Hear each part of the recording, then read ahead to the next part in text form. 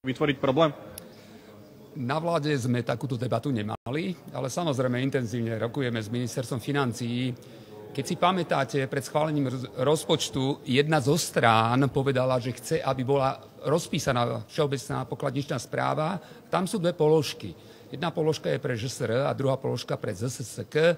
Čiže toto, čo tam bolo rozpísané a čo poslanci schválili, chceme a požadujeme tak, aby železnice, či jedny alebo druhé, mohli fungovať normálne. Nič zvláštne nepožadujeme. A, ko- a koľko je to peňazí?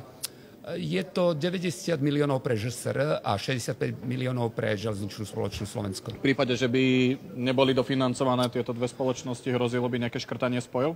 Uh, malujete teraz ešte čier, čierny scenár. Stále, stále rokujeme s Marcelom Klimekom, aby sme sa dohodli a my pevne veríme, že do týždňa, kedy máme ten termín, tie peniaze prídu keby sa to naozaj stalo, lebo týždeň je naozaj krátky čas a videli sme už aj také veci, že sa naozaj peniaze nepodarilo zohnať za týždeň? Je to keby bolo kedy. Toto sme isté podstúpili minulý rok, tak, takže berte to tak ako rokovací folklór. Uh, ale, ale v realite môže sa stať, že najho, najhorší scenár by mohol sa stať, že budete musieť nejak optimalizovať tie spoje. Sme optimisti sme znamená, vy viete, že grafikone, podľa grafikonu máme najazdiť 37,5 milióna, máme opravovať kopu alebo udržiavať e, tráte tak, aby tie vlaky nemeškali, takže pevne veríme, že tie peniaze, ktoré nám poslanci schválili, zákonodárci, aj dostaneme. Vláda chce novelizovať aj letecký zákon, ktorý má 24 rokov, ak sa nemýlim. Le- uh, že čo prinesie táto novela? Týka sa to ja poviem, že to, to, tu treba pochváliť kolegov zo sekcie, e, ktorá, ktorá má na starosti letectvo a štátnu tajomničku, ktorá od nástupu do pozície sa tomuto zákonu venovala. A my sme čelili asi 14 infringementom, teda nemali sme premietnuté um, smernice Európskej komisie, rôzne nariadenia. Teraz v tomto novom zákone sú premietnuté a je tam jedna veľmi zaujímavá časť, ktorú sme nemali pokrytú vôbec. A je to požiadavka doby, a to sú drony alebo nepilotné lietadlá. Je to piata časť a sú tam rôzne požiadavky. Konečne vieme, manažujeme tento priestor nepilotných lietadiel. E, znamená to, že administratíva k dronom bude jednoduchšia? Uh, určite bude jednoduchšia, bude elektronická, či drony na 250 gramov, alebo piloti uh, tých uh, diálkovo riadených lietadiel sa budú musieť registrovať, budú im vydávané doklady, eh, ak budú chcieť lietať, budú mať k dispozícii digitálnu mapu, kde môžu lietať, môžu sa prihlásiť, čiže bude to moderné. K tomu má vzniknúť nejaký register, v akom je to štádiu? Eh, register je v štádiu prípravy, budeme, máme napísaný projekt, budeme sa uchádzať o prostriedky z operačného programu Slovensko. Znamená to vo finále, ešte posledná otázka, že sa v podstate konečne dostane do našich zákonov komerčné využívanie dronov? Tak? Áno.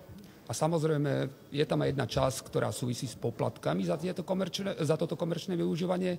Na druhej strane sme boli svedkami, keď drony spôsobili a, rôzne škody, čiže zákon určuje aj objektívnu zodpovednosť za, za tieto škody a samozrejme majiteľia dronov alebo tieto drony budú musieť byť poistené. Bavíme sa o nejakých pokutách a do akej výšky? Um, nediskutoval by som, alebo nešiel by som tak do podrobností, pretože ten zákon je dosť obsiahlý a detálnejšie o zákone chce informovať na tlačovom briefingu ministera štátna tajomnička v najbližších dňoch, takže moja odpoveď bude taká, že počkajme si na ten tlačový briefing. Čo sa týka znižovania veku rušňovodičov, tak teda prečo zavádzame takúto novinku a ako to bude v praxi vyzerať?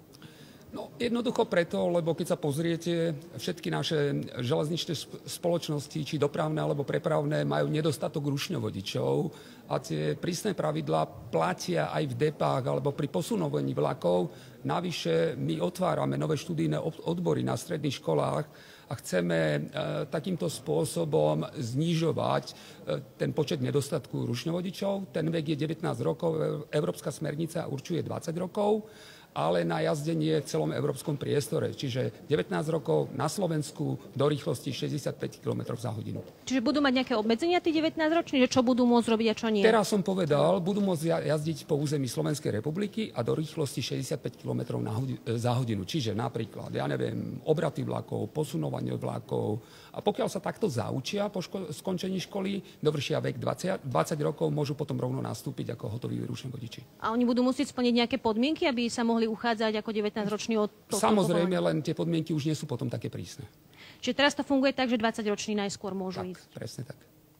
A kedy to bude teda v platnosti? Odkedy budú môcť takto fungovať tí 19-roční? No od účinnosti zákona ťažko predikovať, ale chceli by sme to od polovičky roka. Tohto. Toto.